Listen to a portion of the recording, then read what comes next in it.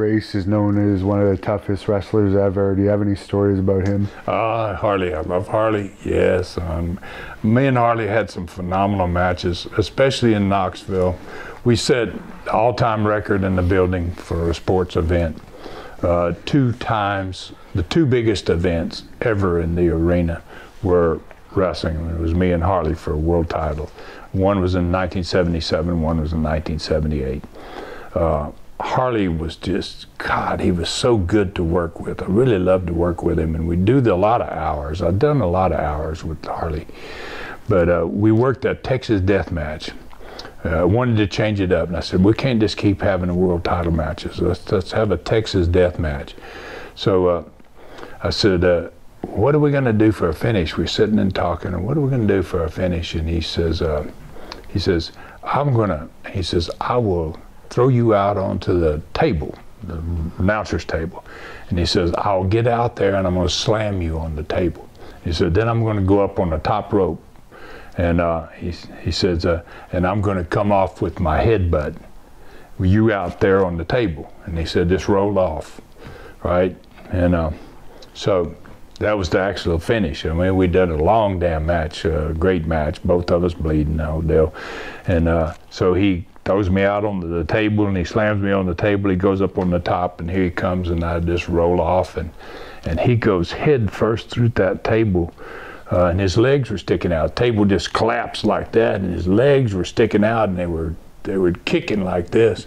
But uh, it was the most awesome bump I'd ever seen, and that building just exploded. It was like God. There was no doubt that was the end of the Texas Death Match. I mean, uh, but uh, yeah, Harley was great. Uh, he used to make good money for me. Uh, I like to take care of Harley because he was so good. Uh, he, I remember one night he had a $2,000 payoff, 76. Paid him in cash, $100 bills. And uh, he I put his, he put his hand out and I started counting them and I got up there about 1500 and he was like, boy, he could just tell he was like almost a grin was coming to his face.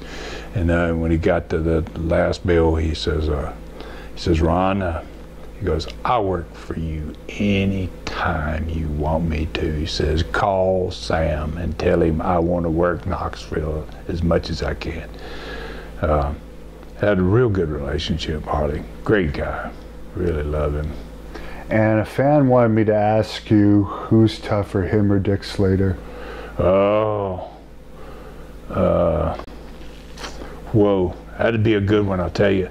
Uh, Slater got the best right hand I've ever seen.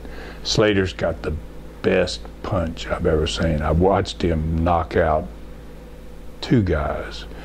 And uh, uh, and and he Slater had an mo about the way he modus of operandi, what he liked to do. Uh, he would knock them out, and uh, and he would drag them in and stuff their head in the toilet. He wanted to put their head in the toilet, and he would flush the commode. Uh, after I guess he did that with Sting, from what I heard, yeah, right? Yeah. Well, I didn't see the Sting, but I watched him do it to two other guys. I don't even want to tell who they were, but uh, he knocked them out, and then he grabbed them by the hair and he drug them in and put their head in the toilet and flushed the toilet.